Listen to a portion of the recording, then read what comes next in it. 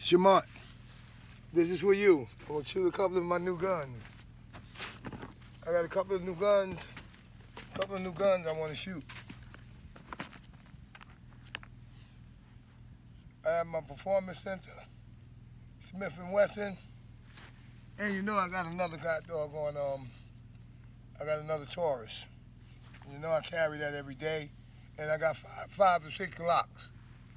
But I know what's reliable for me. But let me, I want to see how this um Smith & Wesson shoot right quick. I got several of them. So let me see how these shoot right quick, the Smith & Wesson.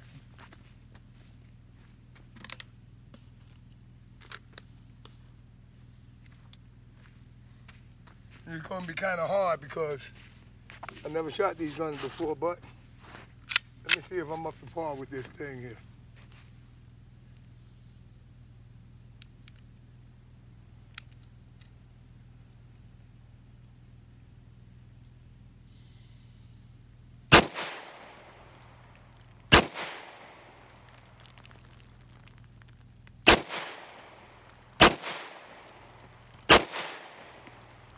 As you can see, I got to practice with these ones.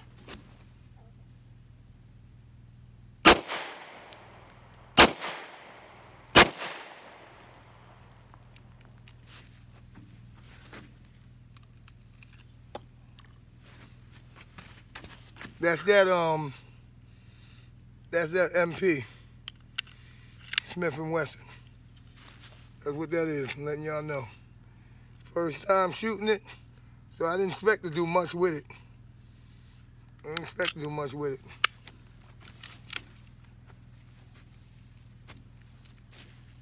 See, I'm not gonna be like these other guys on these videos, fronting and being this close to the, that close to it. No, I don't do that.